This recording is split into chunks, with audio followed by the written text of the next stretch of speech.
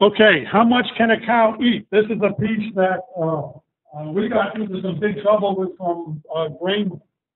Wait, I'm walking away from. You You can see the volume go down when we walk. Okay, I'll stay here. They're gonna keep me on a short leash here. He's gonna keep yanking me back. Sorry. I gotta bounce around.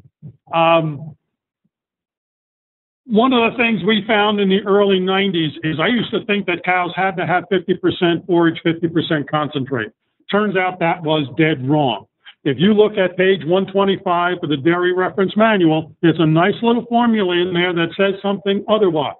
So we started moving to high forage diets back in the sixties. Uh, we almost got lynched by several grain companies, uh, but they couldn't refute what we were doing because it was on sound scientific basis that we could move the forage feeding level up.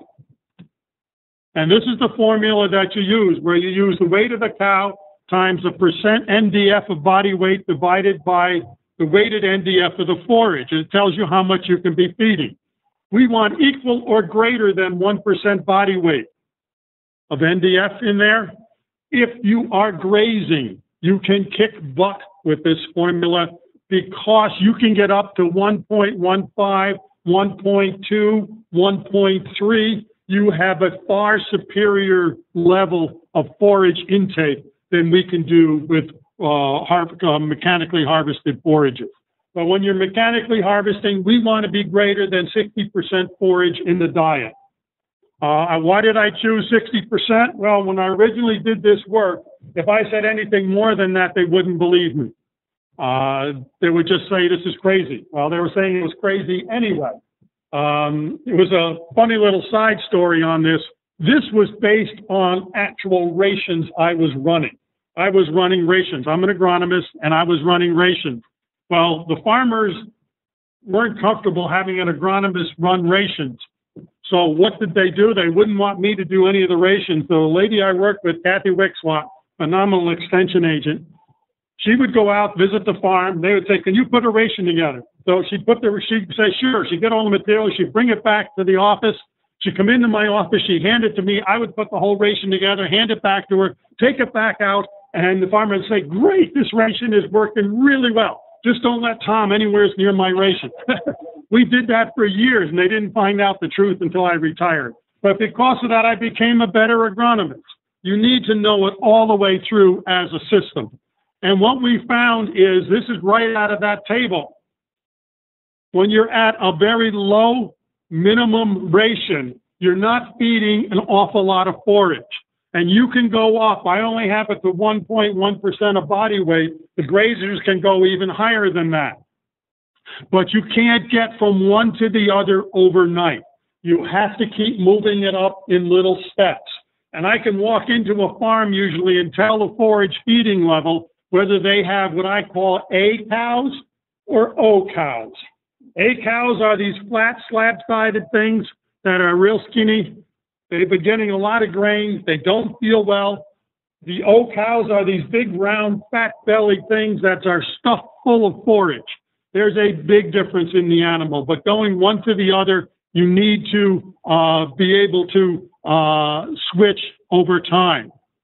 Uh, if you look at here, we had a farm that was actually on a moderate uh, 0.90 moderately low forage feeding. He thought he was doing really good at that point.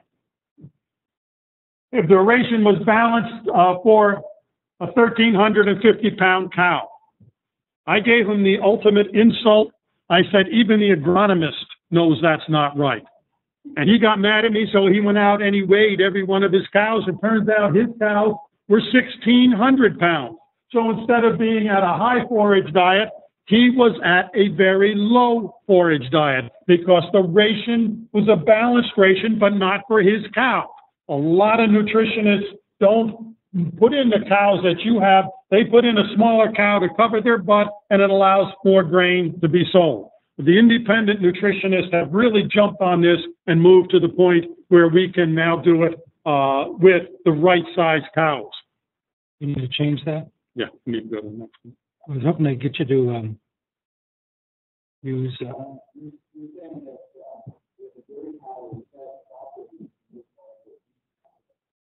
Yes, the question is, is if we feed the dairy cow correctly, will she look more like a beef in terms of round shape? Absolutely right. They will. Uh, we started doing this. We have a small, um, family-run grain company over near us, and they were competing with some big international companies and grain sales in the area, and they cut out a niche for themselves by going to high forage diet. They were the first ones to hit 80-80. 80-80 is 80% forage and over 80 pounds of milk. They have a couple of farms that are doing that. I met with uh, Larry Hawkins out in Wisconsin, and he has some farms that are 80-80. We've got a pile of them that are 70-70, 70% forage, 70 pounds of milk. Next one. I have another question. Yeah. Uh, your body weight, body weight per. Yeah. So, moving parts, you say sixty, um, what state would, would you measure that? In this case, we had a herd of 47 cows. They were all fed the same ration, so we needed to find out what the average weight was. That's what the average weight was, rather than 1,300 pounds. Now, if you can group your animals and you've got first calf heifers in there, yeah, they're a different size, and you've got to take their weight into account, and you've got to adjust to that. Uh, the real nice thing, uh, my brother has a dairy farm, uh, just north of Ithaca, and he has robots and he has scales there. Every cow is really, really fine. And he's been able to target the ratios now to the exact body weight of the cow, which is a real efficient way of doing it. But you need to know what your cows weigh to start with, and that's the point I was trying to make. Now, how much can a cow eat? Um, oh, okay, we got a little pencil on there. Thank you. Uh, how much can a cow eat? Well, it depends on uh, the forage feeding level. That red line is the minimum forage feeding level. The green line is where we want to see most herds. Most herds are down at the red line. If you look at the green line going straight up through at 40% of forage NDF, that's the NDF of the forage, you can see we can be anywhere between a 50% forage diet and a 75% forage diet, all depending on the quality of the forage. We can have the same quality of forage and then shifting the forage itself and also bump it up. So to put that in a simpler format, we're going to look at that in a minute. First of all, we want to maximize the nutrients from homegrown forages. We want to leave just enough room for concentrate to finish meeting the needs of the animal. So the first thing you go is with forage, not with concentrate. You make sure you are maximizing the feed you have. What they found out with these high forage diets, because Dr. Chase went and, uh, and interviewed a bunch of these farmers that are doing these 70 and 80% forage diets, they had increased butter, fat, and protein. They were getting more money for their milk. They had reduced cost of producing that milk. They improved herd health. The one that really takes it into shorts is the vet. The vet's bills drop on all the farms because we had dairy farm business summaries being run on these farms, so we knew what was going on. But what Larry found was greater income over feed costs. More money stays in your pocket rather than goes to somebody else. But to do this, you need to balance the whole system out. There's forage produced by the rotation, the forage storage, and the forage fed. All those pieces have to match. Uh, I don't know how many farms I have dealt with where they increase their herd size by doing a quick calculation on the back of a breeding ticket and then add it onto the barn and put more cows out there. And then all of a sudden they're squeezed for feed. So they add a couple more acres on uh, or stretch their rotation and grow more corn, which ruins their yields also. And they're packing this into a storage that isn't designed for what they're putting it into. So now they have to feed all the garbage feed, the spoils, and everything else just to have enough to keep the cows fed. It doesn't work that way. And you can't go to a high forage diet unless you have the feed quality and the feed supply first.